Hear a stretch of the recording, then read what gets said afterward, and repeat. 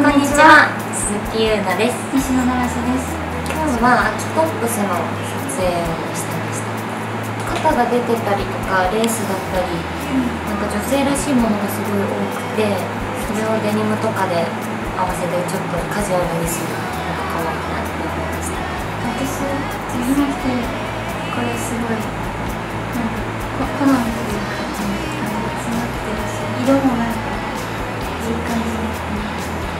肌に合うます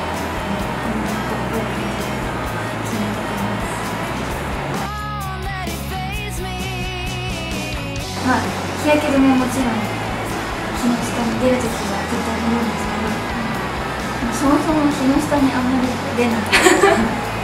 私もう最近ちゃんと日焼け止め塗るようにしてるんですけど本当七瀬ちゃんと一緒であんまり外に出ないから 焼けるリスクは少ない人より。早歩き。で日陰を歩く。っていうのをして。ま す10月号見てね